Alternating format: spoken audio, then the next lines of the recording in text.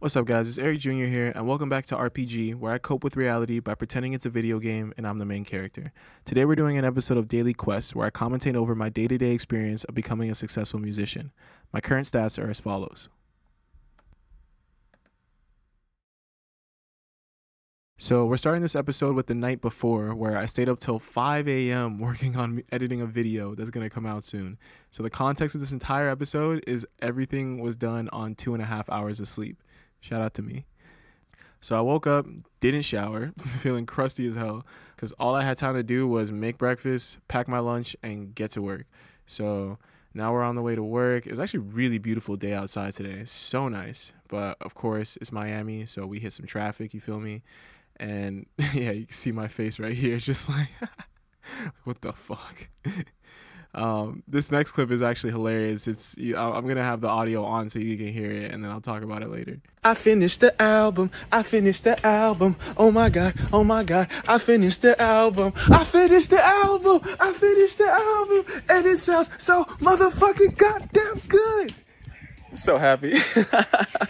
So yeah, I'm literally at work right now, and I could get fired if one of my managers saw this high key. But it's too beautiful of a moment not to capture. I mean, the pure joy. If you guys have ever really put something together that took so much time, and like I transformed as a person from the process of making this album, it really means so much to me, and I, I can't wait for you guys to hear it. But yeah, um, just just fucking funny, candid shit. It's I, I don't like having to work a nine to five or nine to six in this case, but small moments that you can capture that you can just feel like you're really being yourself is is is what makes life worthwhile.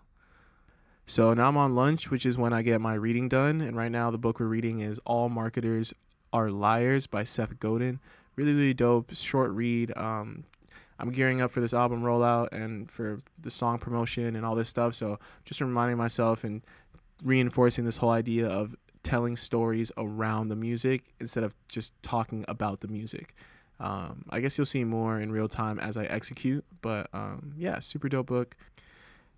And now we getting up out of that bitch, filming, going home. Um, let's see. First thing I did when I got home was work out, which felt great because it was the first time I've worked out in God knows how long and wasn't sore and just felt like, you know, even though I'm on two and a half hours of sleep, I still felt strength and I still was able to push myself. So yeah, we're just going through the motions here. And so this is funny because I actually you can't tell. I was literally about to throw up in this video. I don't know why, but I pushed myself way too hard for whatever reason, and I was hella nauseous by the end of my workout, which is a good a good thing. It means I pushed myself and I wasn't just being a lazy bitch, which is amazing. But yeah, I don't know. It was just kind of funny. I was like, oh shit, let's go. then we got a little dog food dinner, and I was supposed to start editing as I was eating my food, but I ended up procrastinating and watching some YouTube videos. Thankfully, though, I've been really good about even if I'm watching YouTube, I'm watching something that's music related or business related or improvement related. So I definitely implore as like a little pro tip, even if you are kind of wasting time or fucking off, if you can find a way to at least make it content that you're consuming that's related to your ultimate goal, I think it helps subconsciously kind of shift your mindset towards being more productive slowly over time because that's really what happened with me. And um, i think it was a big uh, a big part of it was just not ever forgetting the ultimate ultimate goal at the end of the day.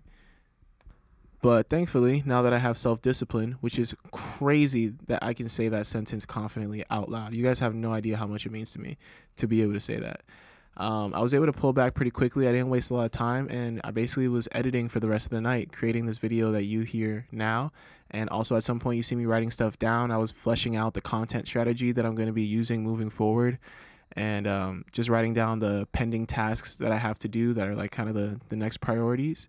And that's pretty much all I got. Um, today was definitely a successful day. I would consider it a W.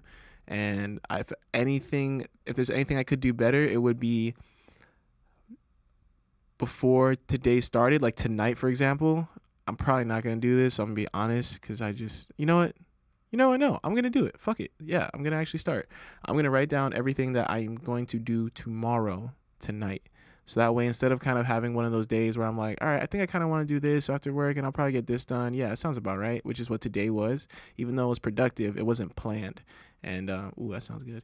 Um, I want to be more of a planned person moving forward. So that's what we're gonna do right now once I stop recording this.